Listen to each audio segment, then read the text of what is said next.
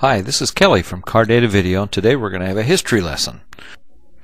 Of all the automobiles that have ever been designed and built in the world, there's one that stands out as most significant above them all, and that's the Model T Ford. The Model T introduced mass production and single-handedly brought us from a horse and buggy level of technology to one where we had machines that were run by gasoline engines. Using a moving assembly line, Henry Ford was able to build these things in about one tenth the time it took to build uh, other vehicles by hand previous to the Model T. The Model Ts were simple, they were rugged, they were cheap, and as Henry Ford used to say, you can have any color you want as long as it's black. When they were first introduced in 1909, they sold for $950, which doesn't sound like much to us today. Back then, that was quite a lot of money. Henry Ford cleverly paid his employees $5 a day, which back then was a huge amount of money compared to other jobs that they could get.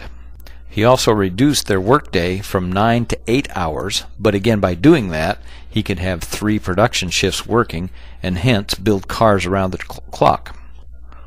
All of this was going on at a time of uh, economic difficulty and transition, and so the result of this is people would come from all over the country to get jobs working in Detroit at the auto factories, and of course their job of choice was with Ford. Production of the Model A's went for 19 years from 1908 to 1928, and uh, the last ones that were built that weren't very much different from the very first ones that he originally produced. They had wooden spoked wheels with metal rims pressed on them. You can see here what they're doing is hand uh, filing the spokes uh, to make them smooth so they can be painted. The engine was a ridiculously simple, by today's standard and light, 177 cubic inch, which is 2.9 liter, four cylinder engine, uh, which produced 20 horsepower. The vehicle weighed oh, about 1,200 pounds, depending on which body style you got, and would be good for about uh, 40 to 45 mile an hour top speed, and it had two forward gears.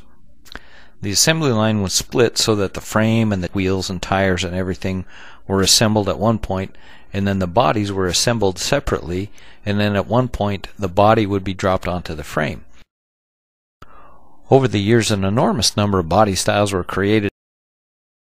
You had a touring car, a roadster, a roadster pickup a ton truck, a closed cab ton truck, a coupe, a two door, a four door, a center door, a station wagon, and a convertible.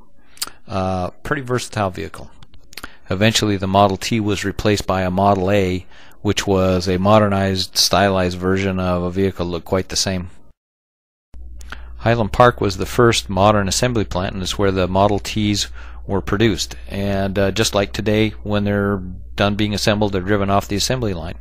But look at these vehicles as they come out. Look at all the different body styles, uh, many of which we read, and these are all just different versions of Model Ts. Finally, after 19 years of production, Henry Ford had actually built almost 15 and a half million Model Ts, and uh, they were by far the most popular and most plentiful vehicle on the road. And here you can see the assembly of the 15 millionth, which is a four-door convertible model. And as you can see, they've added some paint colors other than just black. And that actually is Henry Ford there uh, driving off the assembly line and uh, driving in that uh, 15 millionth Model T Ford.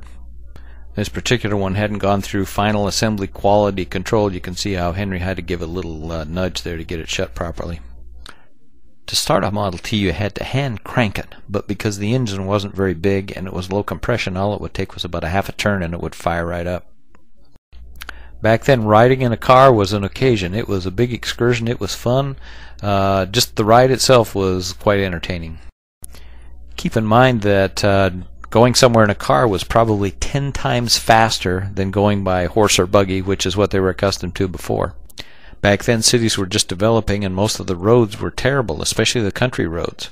And so the Model T had to be built in such a way where it could handle anything, all the way from no road to city roads. And it actually did a very good job of that.